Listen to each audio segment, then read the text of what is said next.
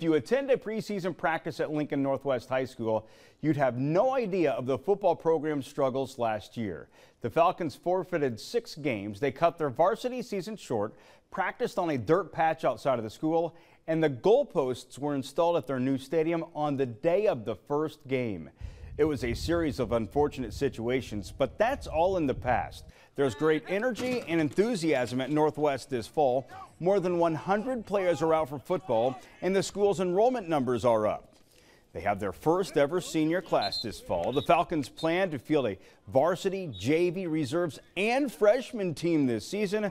The Falcons not only hope to complete the 2023 schedule, they want to win a few games too. I think last year there was just there was kind of a scared feeling, like you didn't know what was going on. You know, you didn't know any of the people you were there with. And I think this year, you know, especially being a senior, you know you got to be a leader, you got to be that guy. So I think there's a lot more confidence that comes with it too. I think things are definitely better. Like we all kind of have our feet under us and think we can really do something good. And I think we're all very excited about it, and the school and the community is very excited about it. I think the kids really responded well. I know that we competed well with some of the JV teams that we ended up going against throughout the year, and I think that helped gain that confidence. We need to complete this season. We need to make sure that we're good.